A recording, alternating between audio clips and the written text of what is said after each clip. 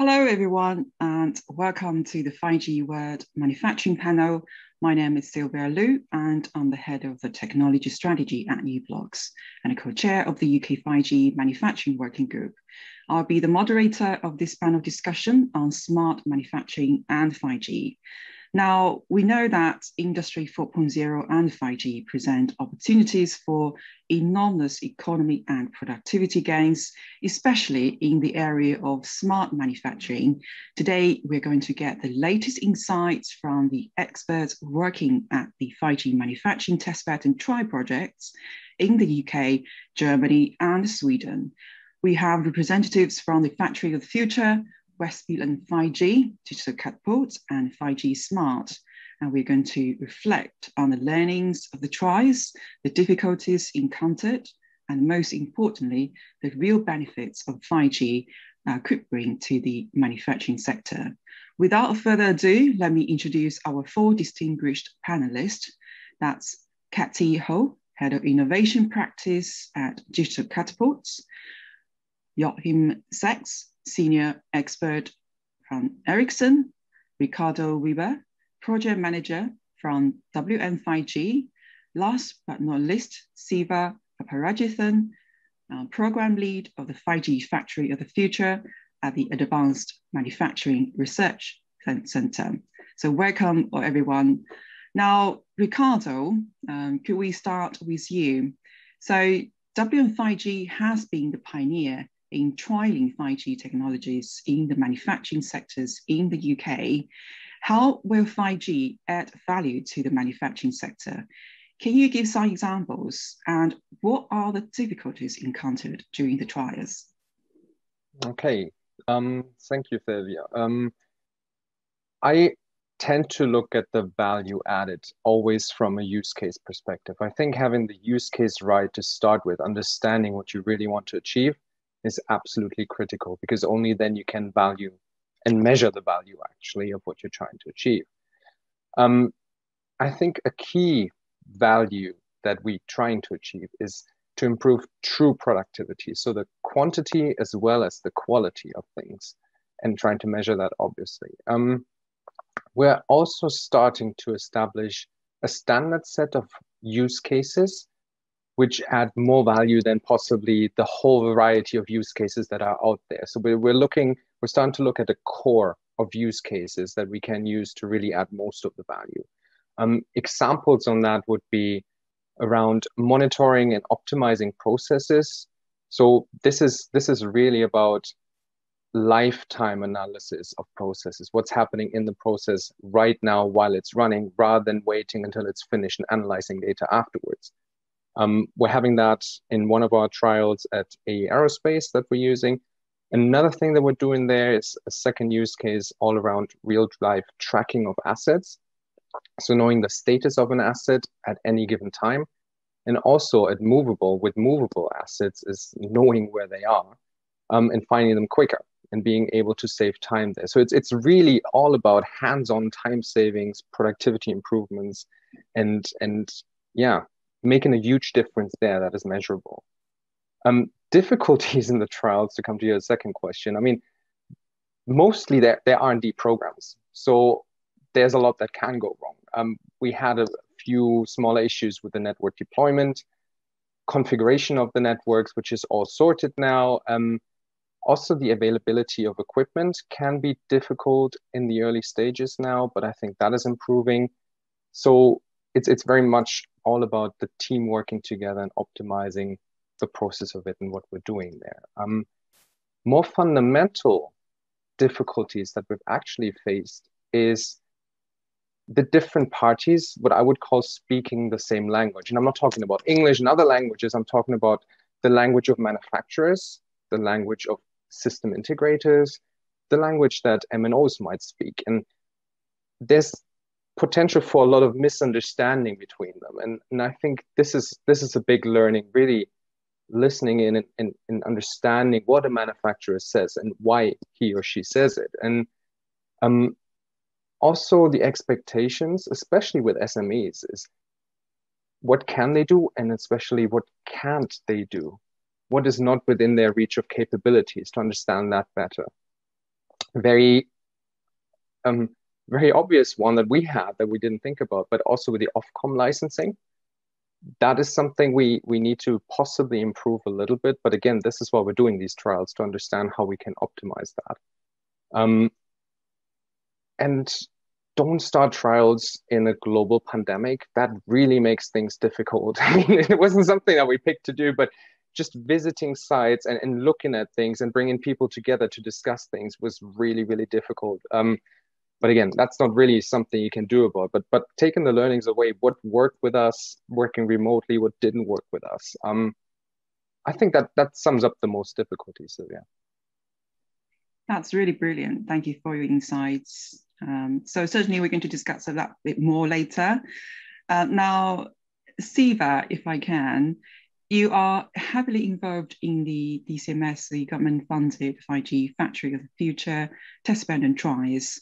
What are the primary drivers for the manufacturing adopting 5G? Could you describe some of the takeaway or key, you know, key aspects 5G uh, Factory of the Future is enabling that for the manufacturers? Thanks, Sylvia. Um, I will follow on from what Riccardo just started. Um, so 5G Factory of the Future project has a major role to play, or the, the main motive of the project is to understand what's 5G's position or 5G's place within manufacturing. Is it going to be replacing, a, you know, a wired connectivity or a wireless connectivity, or is it much more than that? Do, what, what is what is it going to change? Is it going to is it going to make a big difference?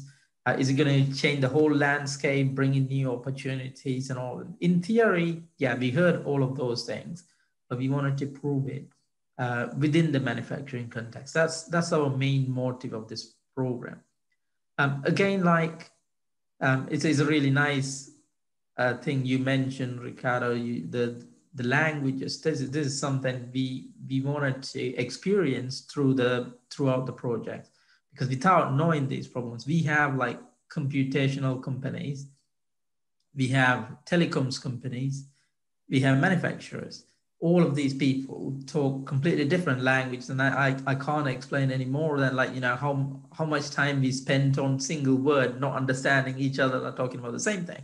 Um, one of the other thing is about you know there are a variety of companies um, a smaller size ones, five man company, one man company, to uh, you know reasonable fifty, you know growing companies, SME range, and the other ones are like the tier one companies, uh, larger aircraft builders, shipbuilders, and all.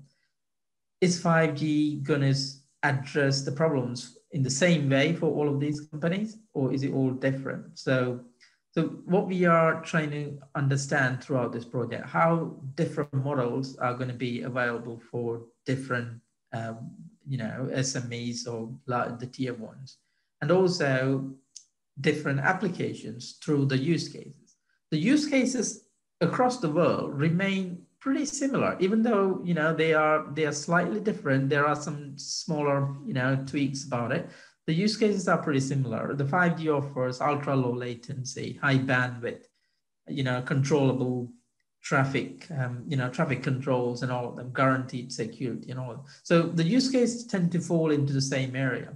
However, different models of 5G, like, you know, um, is it going to be a private installation? Is it going to be an MNO uh, based installation? Or is it going to use a public network? So all of these things are going to be different for different um, different types of opera companies. And so our motive through the 5G Factory of the Future project is, is to expose all of them to get some experience um, through all of these channels.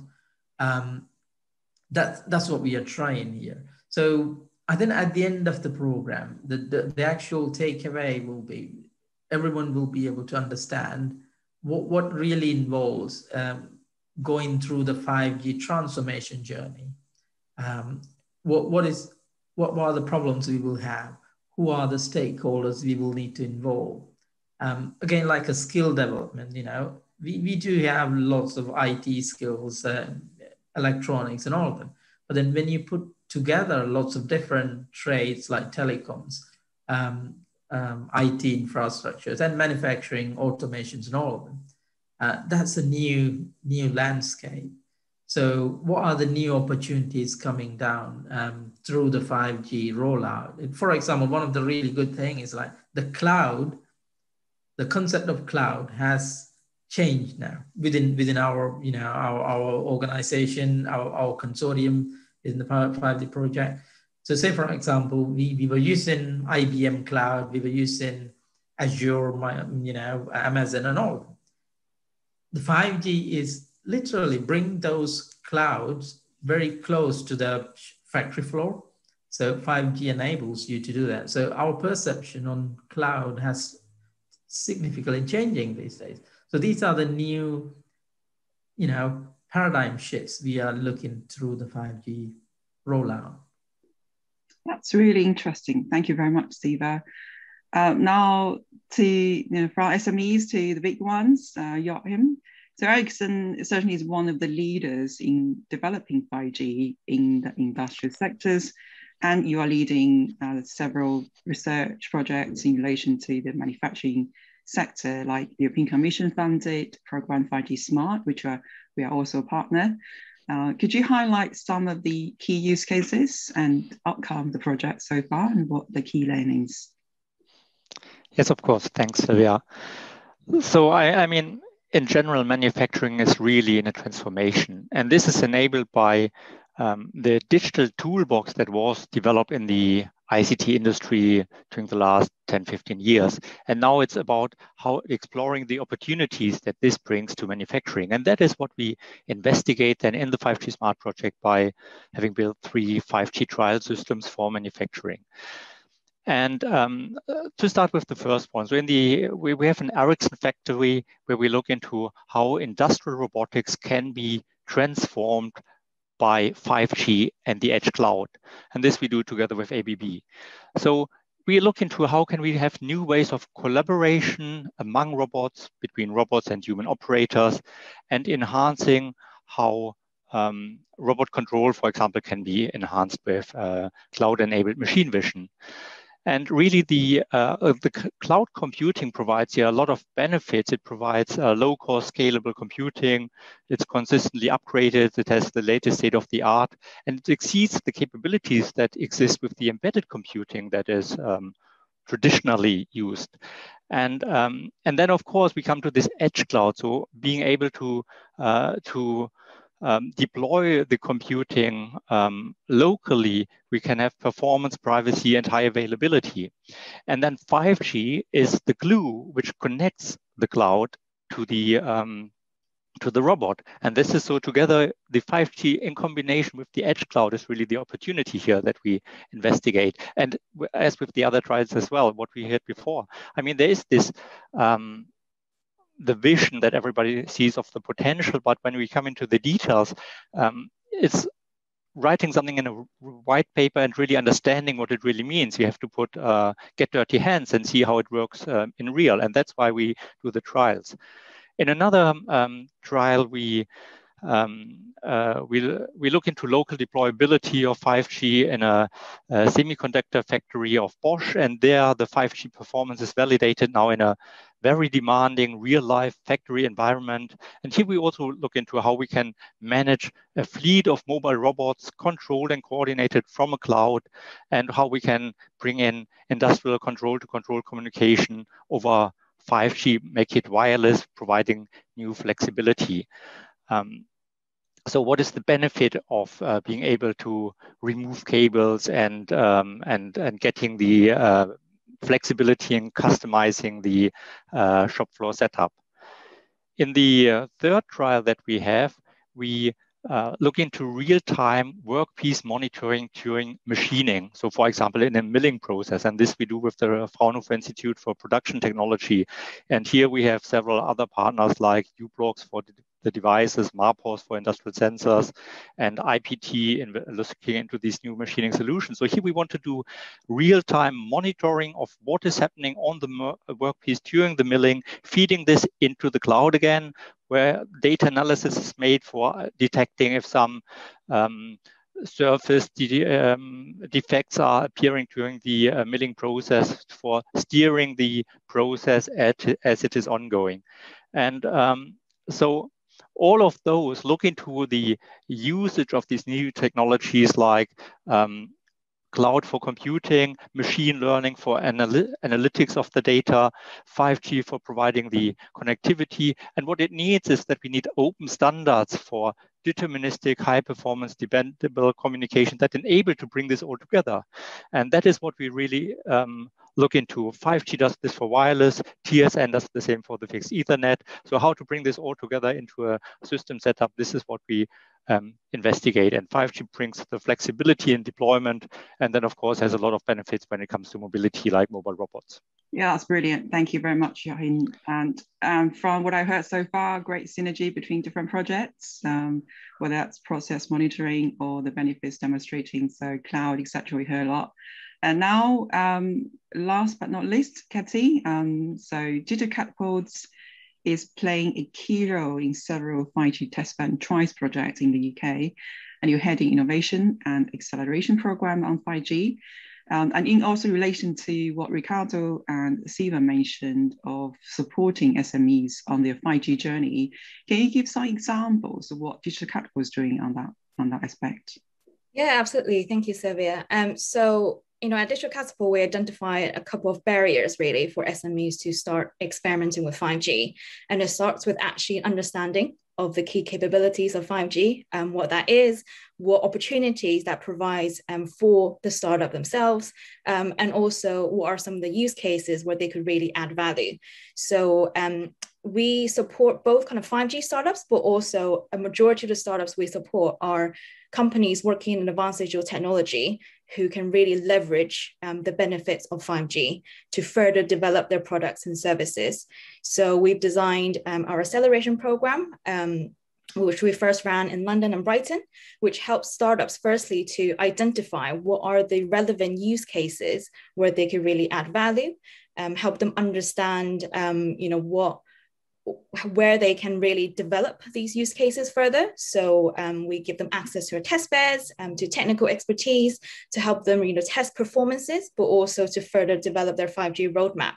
And then on the other hand, we also help them to understand, you know, now that you have an understanding of how you can leverage 5G, what is your business value proposition? So how can you, um, you know, pitch to industry um, what your value proposition is now with the 5G capabilities that you have developed to drive value. So um, we ran, you know, commercial accelerators as well in partnership with Ericsson and with industrial partners and SMEs, really bring the supply and demand side together to build business cases to take forward some of these innovations. Um, we're of course part of a consortium member for um, Spring, which is the commercial application accelerator partnership with West Midlands 5G, which is actually delivering um, this type of acceleration at scale because ambition is to support you know over 100 smes and startups um, across the uk to develop commercially viable um, proof of concepts or prototypes that they can then take forward um, for you know mvp or any kind of commercial partnerships and um, you know the themes that we're exploring there are manufacturing tra- transport logistics construction just to name a few um, and some of the use cases that we're looking at, um, you know, again, aligns with what other panelists have already mentioned around remote operations, asset tracking, um, machine time servitization, worker assistance, um, remote monitoring, and real time as well. So on this program, what we're looking at is SMEs um, and startups that work in AI, work in computer vision, they work in, you know, immersive um, technologies um, that can really leverage and benefit from the capabilities of 5G. And what we do is give them that environment and that collaboration um, framework um, to start to understand where they sit um, you know, in, the, in the journey um, and also how they can develop their capabilities further. So the impact that we're driving um, is to, of course, grow the 5G ecosystem, you know, grow the supply side of these technologies um, and really uh, bridge the gap between the industry um, demand and also the SMEs are really looking for opportunities to add value to a lot of these use cases as well. Um, and you know what we're really interested in is how you know different technologies also converge and work together um, in different stacks. And we think that you know 5g is of course a key enabler um, in this. So that's kind of you know our key strategy in supporting smes on their journey that's a lot. It's great stuff you guys doing. Um, and, and, thanks for also um, referring to 5g capability. Let, let's pick up this one. Riccardo if i can come back to you. You mentioned difficulties, and we talked about SMEs, you know, with CAPTI, SIVA, um, and certainly you have a lot of experience advising manufacturers, understanding 5G um, to SMEs about the capabilities of 5G. Um, so, but, but what is really important to the manufacturers? Well, maybe we should turn that around and say what's not important to manufacturers. maybe start that way. Um, I think it's not necessarily important to them if it's an N77 or an N78 or what type of modem it is, or generally about network technology. Um, the manufacturers I've spoken to is like, does it work? Can I put it in? What does it do for me? That's really important.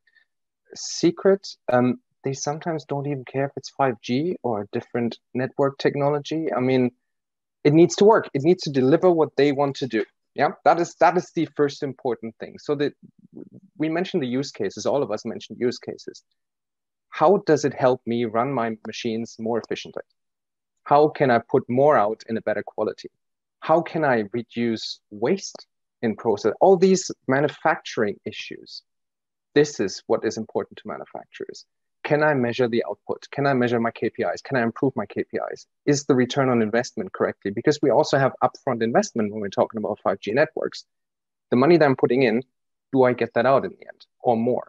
So um, quite a few different things. Also, um, again, coming back to the to the to the language, like like Siva picked up. Um, do people understand me? And we're also having to look at when we're talking about manufacturers I very much make the distinction between talking about SMEs and talking about big scale manufacturers because big scale manufacturers just have much more resources and also in-house capabilities that SMEs just don't have, especially on the S side. Um, and there are lots of them in the UK. Like most manufacturers on the S, maybe on the M side. So really understanding how we can help them and make a difference in a way that is tangible for them I think that's if we, if we pick that up and we can package it into something that we can deliver in a simple and easy but very impactful way. I think then we have we've cracked it. That's really the most important thing. Sorry, I was a bit plain, but I hope that that makes it clear. That's very insightful. So indeed, language, easy, easier integration, return on investment. Uh, we, are going to talk about that later. Uh, but on that capability aspect, um, um, can I pick uh, Joachim? Um, so you are certainly heavily involved in the 5G technology research and tries, and, and you are expert uh, enabling those technologies.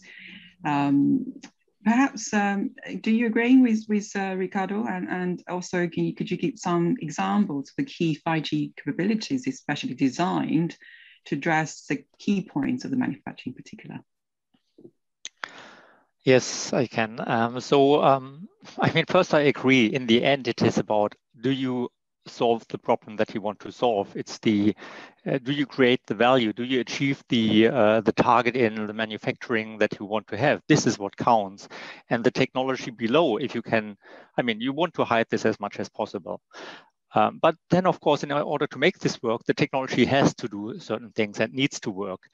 And what I think are some of the key capabilities that really 5G brings to the table and needs to bring to the table uh, to make this work is first, I mean, we need dedicated private 5G network services for industrial customers. And um, they need to uh, provide security, privacy, high availability, and guaranteed performance. Um, so this is uh, something different from the how we use mobile networks in the past when you use your smartphone and walk around somewhere. I mean, it's a different level of how you want to uh, put them in place. And uh, for these dedicated private 5G network services, I mean, the standard has defined these so-called non-public networks, the capabilities to deploy and configure a network for having isolated guaranteed uh, services to an um, industrial customer. So I think that is one key capability.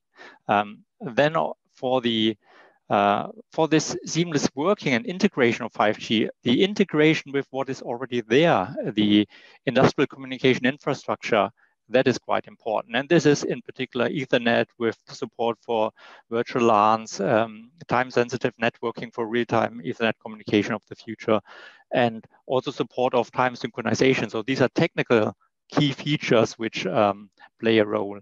And then what 5G has to provide is to provide multi-service communication capability. Not everything is ultra-reliable, low latency communication. It's a mix. You want to, you don't want 10 different networking technologies for every single service. You want to have one uh, technology that can cover the quality of service um, range and support the different devices and the different communication demands.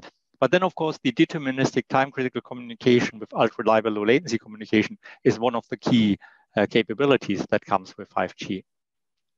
And then with that, the um, um, it's uh, needed to provide the um, uh, the infra or the devices and the equipment on the shop floor um, with access to an edge cloud infrastructure. So I think that is what you in the end want to do in order to um, enable all the values that comes with these new computing paradigms. Yeah, excellent. Three aspects, right? So the uh, dedicated 5G network, um, guaranteed quality service and the device connectivity uh, directly with edge computing. So that seemed to be like end-to-end capability that we're looking for. Um, so um, can I also pick um, a follow-on question uh, with you, Joachim, in terms sure. of availability, in particular TSN, and you, you yourself has has authored several technical paper on that aspect, TSN. So what, what is the availability of, of TSN devices or, or network? Well, TSN is um, um well, it's a TSN is basically um, um, a set of features, and um, uh, so, so there's not the one single TSN solution. And um, at the moment, I, I, think on the fixed connectivity, it's um, there's still a lot of legacy of different field bus technologies, different real-time Ethernet variants, which are proprietary to a certain segment.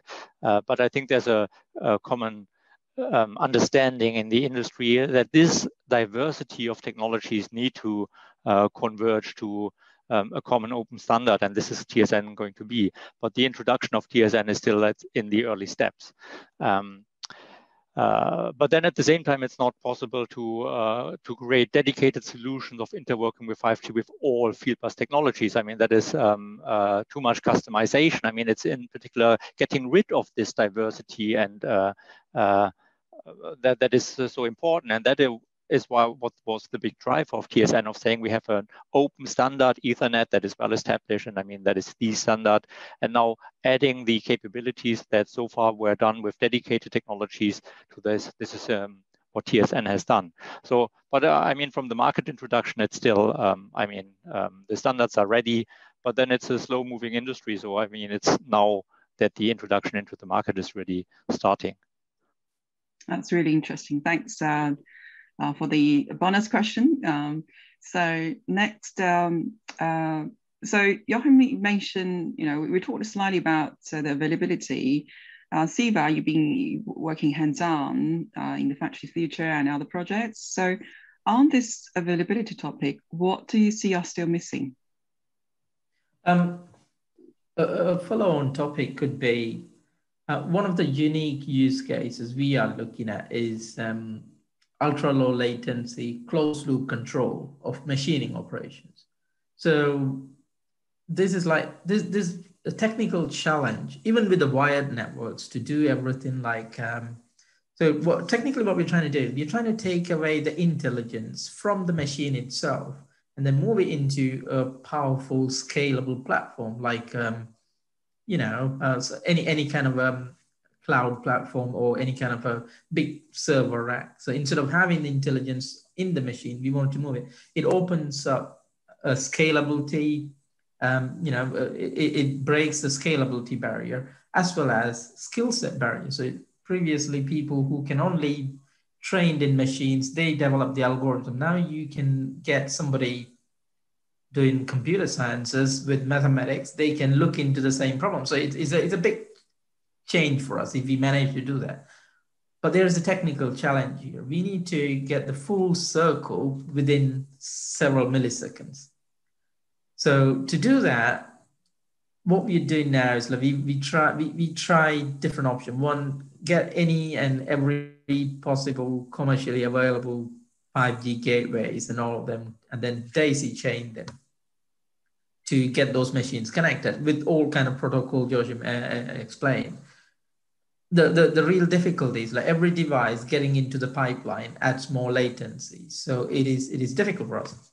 So what we've done now, so we we started from scratch. We started to build our own kind of device that's got all field bus technologies and 5G in one platform. So you don't need to have different different modules in a in a in a pipeline. Everything in one memory memory bus. So that that's something we are trying.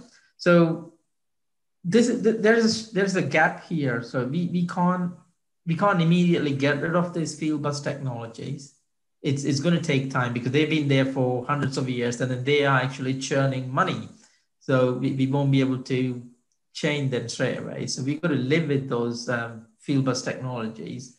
And then eventually if, if it's going to be a transformation that's great. Yeah that, that'll be fantastic.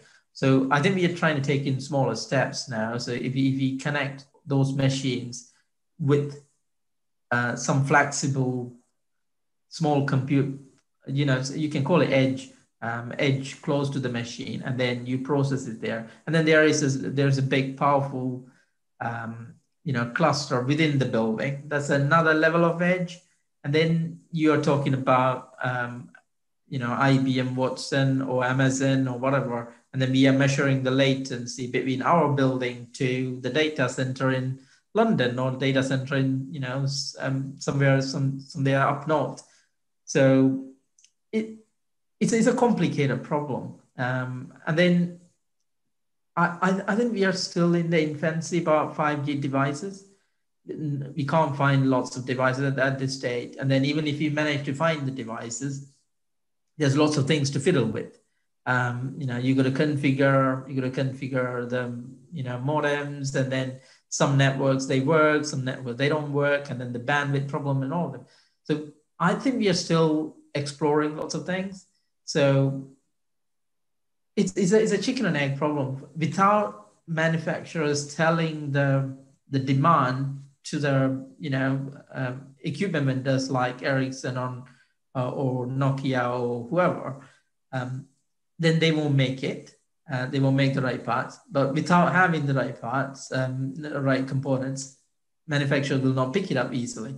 So it, it's going to be, it's going to be, there's going to be a, you know, transformation period.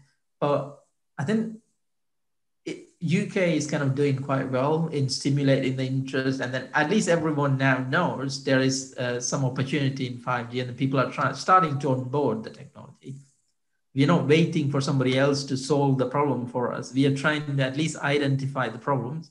Uh, we, we, as long as everything exposed, then you know somebody will and the new businesses will start to address this. And then this uh, open RAN concept is really cool. You know, if, if it's if it's gonna if it's gonna really materialize, that'll be that'll be ideal.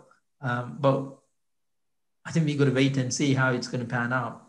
Definitely will work, but how long it's going to take um, you know how how how quick we can accelerate this that's the that's the challenge we need to wait and see i guess yeah that that's um, brilliant insight um, you know 4g took 10 years to get uh, you know adopt um, massive adoption right uh, 5g we're second year third year now um, so we're on that so ramping up curve i would uh, imagine um, so so Katy, um, Siva mentioned uh, device availability. That's one of the key challenges, certainly in the first couple of years of 5G um, commercialization. Um, presumably, that would be also the case for the SMEs as well. What other perhaps uh, challenges SMEs facing adopting 5G, and what are the opportunities there as well? Yeah, absolutely. Um, so I guess the first challenge really is um, an understanding of the business value. Um, as you know, startups and SMEs are usually, you know, cash poor, time poor. They have, you know, resource commitments to really maintain, you know, their current uh, development roadmap, their current kind of business plan. So, are they seeing enough demand um, in industry to really justify the investment and resources that they will put in to um, exploring 5G and experimenting with 5G. So that's kind of the first barrier that you face um, is really articulating, you know, the same way that industry measures ROI for the startups and SMEs, you know, how can they benefit from this? So that's the first um, challenge, I would say. And then um, you know, something I've mentioned earlier around knowledge of 5G, um, 5G kind of features and capabilities. Where do they start? Is it relevant for them? Or they are starting too early? Um, and then also just sometimes a lack of in-house technical expertise, specifically related to network technology, um, is also often a massive hindrance um, to them getting started on the on the journey. So in terms of opportunity, of course, you know, if you want to get ahead of the curve um, and really, you know, uh, increase your competitive advantage. You know, that's something that SMEs do consider um, if they have the resources available. And I suppose if you're operating in the right market as well, um, that you can see actually a growing demand um, for specific use cases. Um, another opportunity, of course, is allows them to build in you know, new features and new capabilities in their products um, and removing a lot of the limitations that they might have previously faced, um, in particular related to you know, speed, latency, amount of data they need to upload and download, but also any kind of specific environmental constraints. So it frees up a lot of their you know creativity in looking at what are what does a future product roadmap looks like. So that's a massive opportunity for SMEs and startups in particular. Um, and then another uh, you know opportunity could be you know how could they take advantage of new business models that could be enabled um, by 5G industry as well. You know where do they see themselves?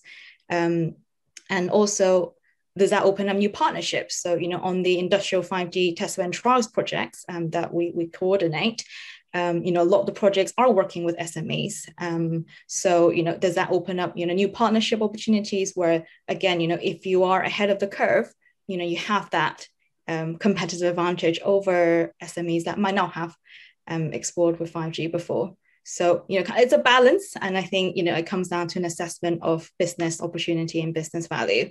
And I think that's what we're all trying to help all sides of industry and SMEs articulate and understand better. Yeah, so you certainly have a great role here, a key role here to, to glue the demand supply side, the technology provider and demand user side. Excellent. Uh, now we uh, we let's uh, let's do two more questions. Um, of course, when we talk about uh, 5G um, and also refer to what Joachim said. You know, we have a two boxes, right? Explore possibility, but in the box, two box, we also have other competing technology like Wi-Fi six.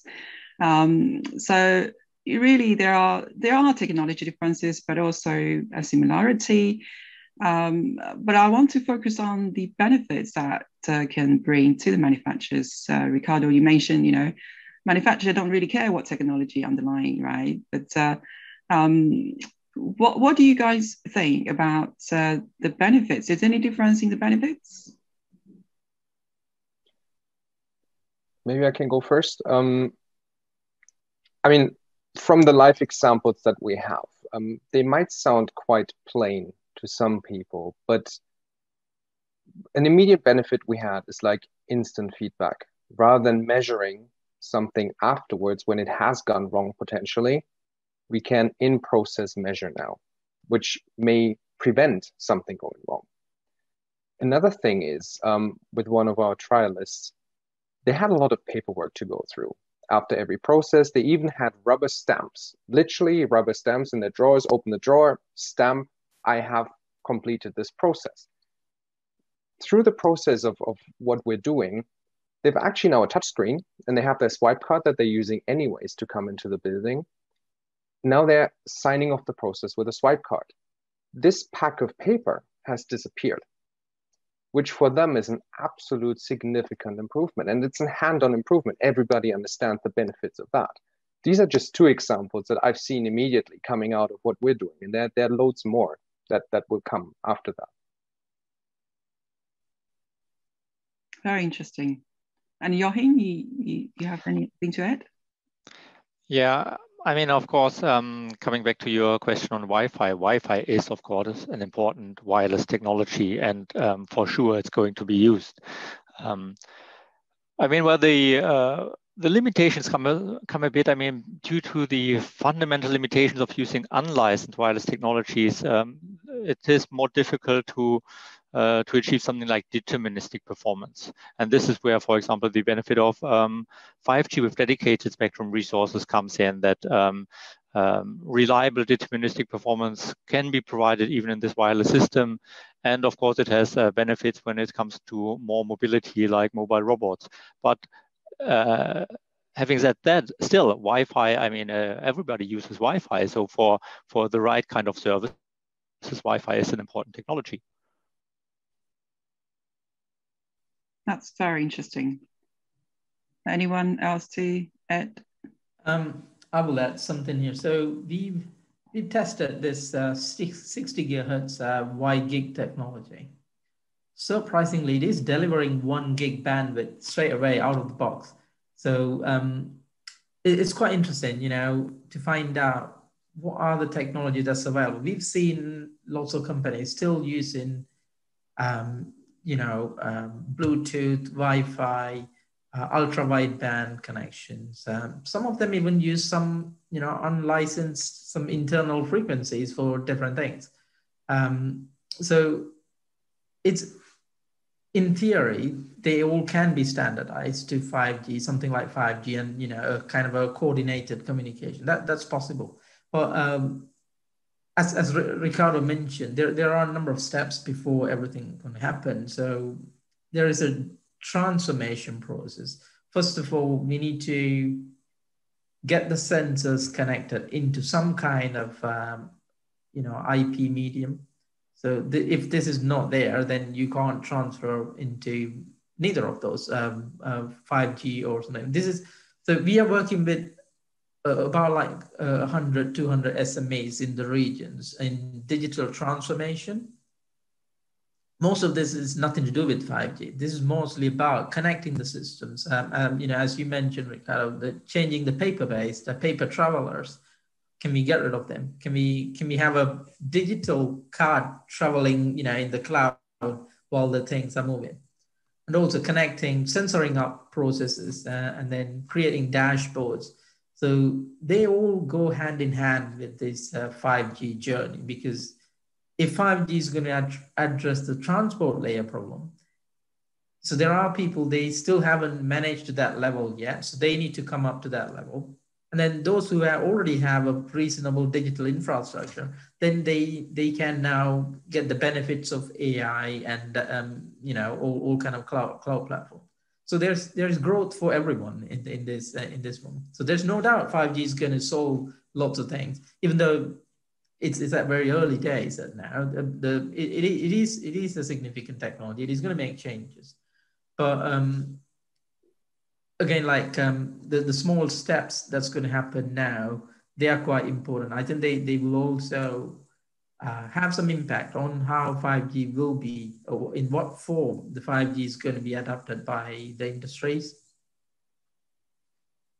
Yeah, that's that's brilliant. Um, indeed, that holistic approach and also the phased, um, you know, approach that's certainly going to move things uh, step by step. Um, now um, we are almost come to the end of this session. Let me um, ask uh, everyone, everybody on this panel, uh, 30 minutes and um, 30 seconds rather. Uh, what's your advice to the manufacturers who are considering adopting 5G? So we talked about, uh, you know, the ease of integration, quality of service, capabilities, values, etc. Um, so what's your insight to make those um, adoption easier for them? So 30 seconds. So let's start with Katy. All right, um, I'll try to keep to time.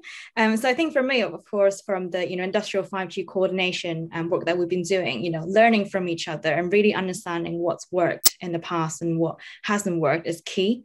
So if you're you know um, thinking about um, your 5G journey, so really understanding what are some of the challenges that have been faced by industry and manufacturers and how have they gone around and solved you know different problems.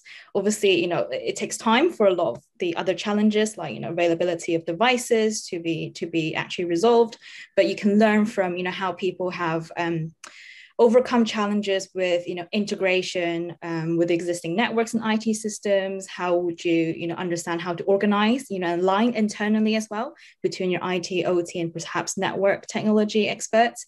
Um, cybersecurity is another topic that comes up a lot um, in terms of really anticipating um, the cyber um, security implications for um, you know different scenarios.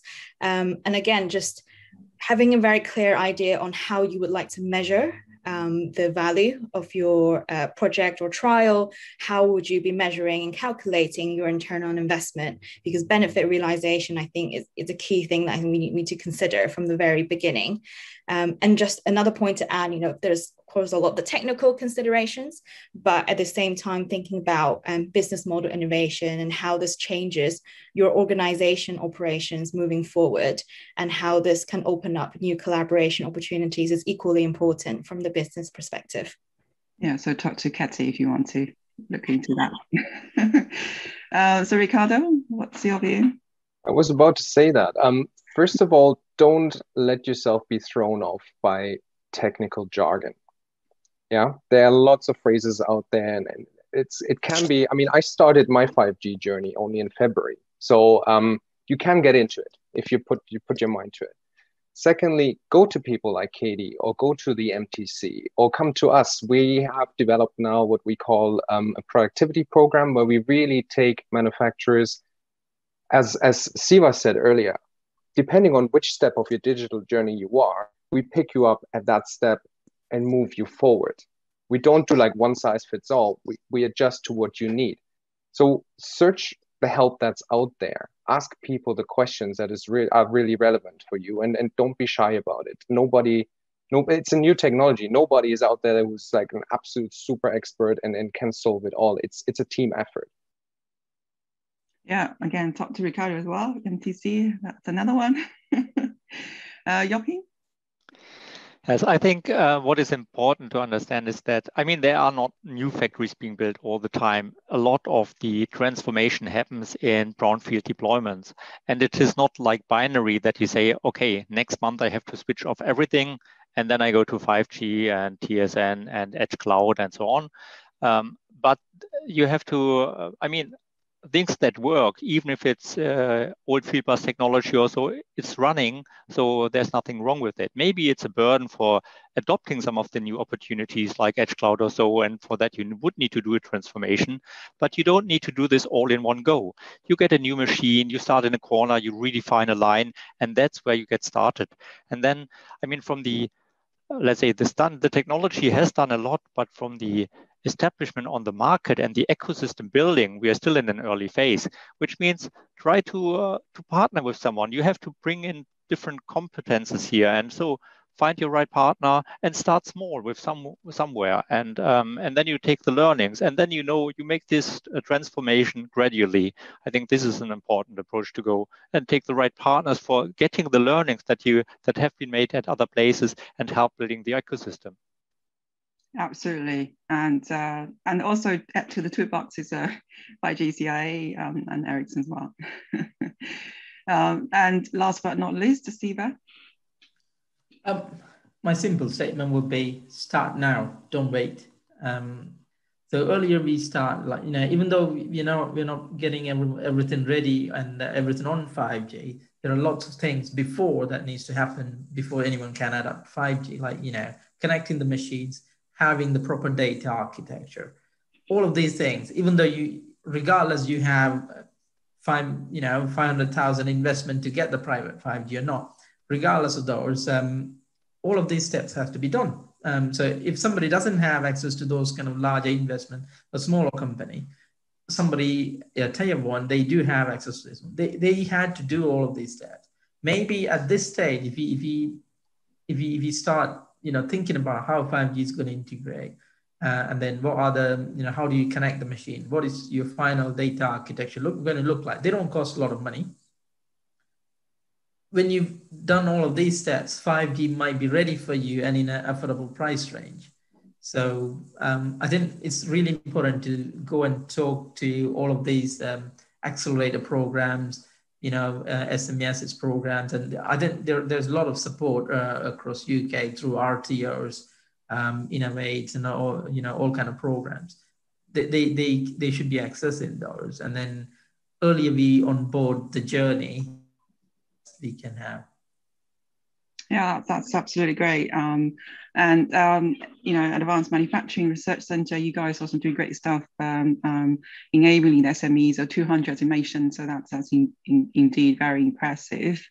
Um, so that comes to the end of this panel session. Uh, it's really great uh, to, to, to hear your uh, latest insights and uh, the recommendations in particular uh, for, for the um, in particular SMEs and also you know how things are uh, needed to enable manufacturing adoption. So, yeah, that's a, a fantastic discussion. Um, and I, I guess, uh, you know, people know who to talk to now um, on this panel for further, you know, exploring discussion.